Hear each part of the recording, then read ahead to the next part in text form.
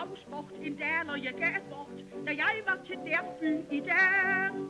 Min onkel, der er halvgal, men kender en staldkal, personlig fidusen mig gav. Den hest, som jeg holdt på, var boglang og fæl, men jeg tænkte blot ved mig selv. Gården til gården, og sikke den gik, den vrinskede i starten og virkede kvik. Men da den kom ind på banen, ned fra hinanden. Gården så gården, og sikke den gik, den løb pludselig baglæns og lavede panik. Jeg havde, hvis den ikke var rent på tværs, fået odds 177. Som fuglen på vinge, jeg ville mig svinge, da jeg skulle til Malmø en dag. En flyvemaskine med luksuskabine, jeg ville betjene mig af. Men da jeg så indtog min plads høj og flot, så råbte den frække pilot. Gården, så gården, og sikke den gik.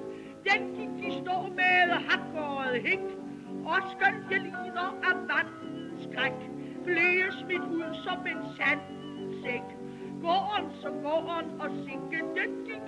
En skipper fra Norge, som på mig fik kig, skrev pludselig hurra, jeg til uvart ser, et ø, som vi kan okupere. Jeg bor her ved Femvejen. En dag er jeg på hjemvejen, blev fuldt af en skummel person.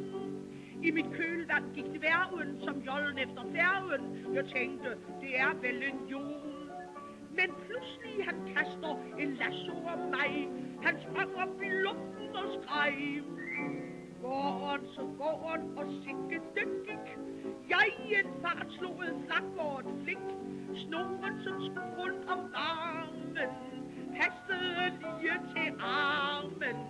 Gården, så gården, og sikke den gik. Hvad skal man med lasso, når man sælger en strik?